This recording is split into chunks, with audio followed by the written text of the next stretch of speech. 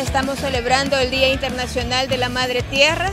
Nos hacemos hacer sentir como Facultad de Ingeniería y Arquitectura de la Universidad Gerardo Barrios a través de una marcha cuya finalidad es dar a conocer la problemática que como país tenemos y las diferentes alternativas que como universidad y facultad estamos proponiendo a la población en general.